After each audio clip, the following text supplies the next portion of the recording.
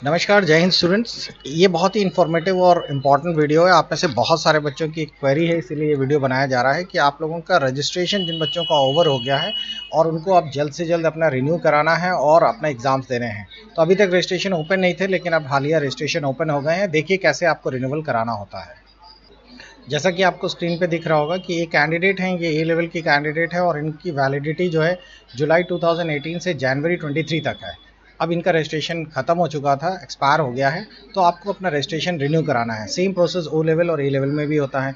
तो जब आपको रजिस्ट्रेशन रिन्यू कराना होता है तो उसका प्रोसेस ये है कि आप सीधा कोर्सेज में माई कोर्सेज पे क्लिक करिए।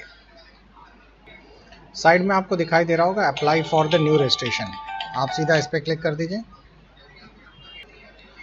आपके सामने कुछ ऐसी स्क्रीन आएगी। ये सबसे इंपॉर्टेंट पार्ट है। अगर आप लोग ध्यान से देखिए, यही रजिस्ट्रेशन में यहीं पे गलती भी होती है। यहाँ पे लिखा है re registration in the same level ये होना ज़रूरी है, क्योंकि कैंडिडेट एक्सपायर हो गया रजिस्ट्रेशन तो यहाँ पे री रजिस्ट्रेशन करने का ऑप्शन आ रहा है। अभी मैं वो लेवल वाला भी खोल के दिखाऊँगा, जिन बच्चों का एक्सपायर नहीं होता, वो गलती से कैंसिल रजिस्ट्रेशन पे क्लिक कर देते हैं। री रजिस्ट्रेशन कराते समय आपको एक ऑप्शन बहुत अच्छा मिलता है कि आप अपने आप को डायरेक्ट से इंस्टीट्यूट और इंस्टीट्यूट से डायरेक्ट में कन्वर्ट कर सकते हैं। दूसरी चीज़, आप लोगों को यहाँ पर अपना एग्जामिनेशन नेम अभी आप लोगों को दिखाई नहीं दे रहा है, इसका मतलब री रजिस्ट्रेशन अभी रुके हुए हैं। जब आपको यहाँ पे एग्जामिनेशन के लिए दिखाने लगे, जैसे अभी आप एग्ज़ाम नेम देख पा रहे होंगे कि यहाँ पर कुछ भी नहीं है जैसे ही ये ऑलमोस्ट मान के चलिए कि ये अभी एग्ज़ाम पेपर लॉक होने शुरू होंगे तो री रजिस्ट्रेशन भी चालू हो जाएँगे। आपको यहाँ पे जुलाई 23 एग्ज़ाम्स दिखाने लगेगा, तभी आप लोग यहाँ पे नेक्स्ट करके री रजिस्ट्रेशन कराइएगा। इस बीच अभी री रजिस्ट्रेशन मत कराइए, नहीं तो रजिस्ट्रेशन पेंडिंग हो जाएगा आप लोगों का। और आप जुलाई के एग्ज़ाम से मरहूम रह जाएँगे। आपको जनवरी चौबीस के एग्ज़ाम देने होंगे।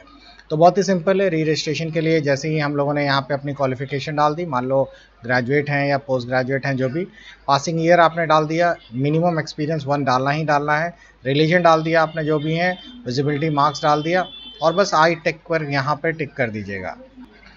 इसके बाद सबमिट करिएगा, लेकिन अभी मैं इसे रोक रहा हूँ क्योंकि अभी एग्जामिनेशन नेम नहीं है तो रजिस्ट्रेशन अभी आपको नहीं करना। जैसे ही एक्टिव हो जाए, तब आप अपना ओ लेवल और ए लेवल का रजिस्ट्रेशन चालू करा देना। जैसा कि इस कैंडिडेट का आप देख पा रहे होंगे कि अभी इसका रजिस्ट्रेशन 2027 तक है और अगर आपने गलती से ये ऑप्शन चूज़ कर लिया, देखिए यहाँ साफ़ साफ़ लिखा हुआ है cancel the existing registration cancel the existing registration का मतलब है, अगर ये रजिस्ट्रेशन फॉर्म भरकर सबमिट कर दिया गया तो नेलेट खुद ही कहता है कि आप लोगों का ये सारा का सारा रजिस्ट्रेशन कैंसिल हो जाएगा, जितना दिया गया है सब धरा का धरा रह जाएगा। इसीलिए आप लोग कैंसिल ना करें। बच्चों, इसको ध्यान से पढ़ लीजिएगा बिकॉज़ ये चीज़ बहुत सारे बच्चे गलत कर देते हैं। कई सारे बच्चे इंग्लिश में तंग होने के कारण बस फॉर्म देखा, भर दिया। ऐसा नहीं है। एग्जामिनेशन नेम जब तक ना दिखाई दे, तब तक आपको री रजिस्ट्रेशन नहीं करना और गलती से भी ये वाला नहीं करना है। अगर आप अपग्रेड कर रहे हैं या री रजिस्ट्रेशन कर रहे हैं तो यहाँ से री रजिस्ट्रेशन वाले पे ही क्लिक करना है। तो आई होप आप लोगों की ये क्वेरी क्लियर हो गई होगी। मिलते हैं नेक्स्ट वीडियो में। Good bye